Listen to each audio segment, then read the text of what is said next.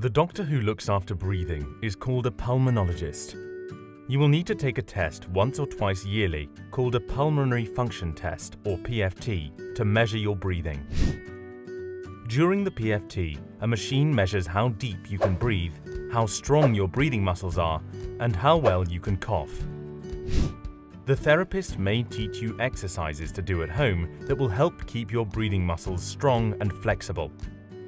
These exercises are called air stacking. If your cough becomes weak, you may need assistance to move the mucus out of your lungs. Your therapist and pulmonologist will show you ways to help assist your cough. It is possible to manually assist coughing or to use a cough assist machine. Getting your vaccines, such as pneumovax and yearly influenza vaccines, will help keep you fit. If you have a cold or other illness that affects your breathing, it is important to see your doctor early. You may need medicine to prevent this illness from becoming worse. When you're sick, it is extra important to cough regularly and use cough assistance or ambubag, a balloon used for air stacking, when needed.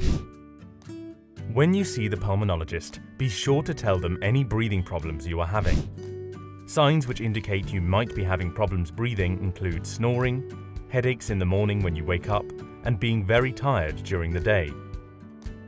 The pulmonologist may ask you to get a so-called sleep study to see how you are breathing at night. This test will let you know if you might need assistance with breathing during sleep.